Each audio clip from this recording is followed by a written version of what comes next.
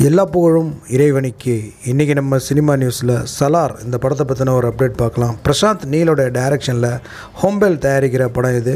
ஹோம்பேல் லாஸ்ட்டாக வந்து பார்த்திங்கன்னா கேஜிஎஃப் மாதிரியான பெரிய வெற்றி படங்களை கொடுத்தவங்க பேன் இண்டியா ரிலீஸ் வந்துட்டு நிறையா பண்ணியிருக்கிறாங்க.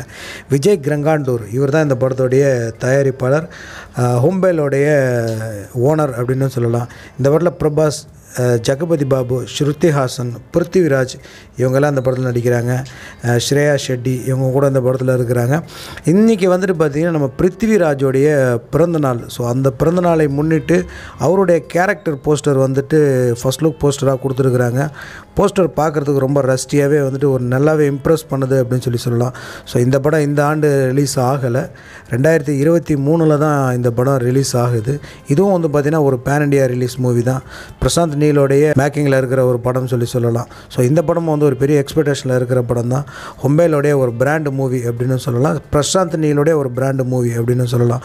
மேலும் அப்டேட் தெரிஞ்சிக்க மறக்காமல் நம்ம சேனலை சப்ஸ்கிரைப் பண்ணி ஃபாலோ பண்ணுங்கள் இந்த வீடியோ இந்த தகவல் உங்களுக்கு பிடிச்சிருந்து அப்படின்னா மறக்காமல் ஒரு லைக் பண்ணுங்கள்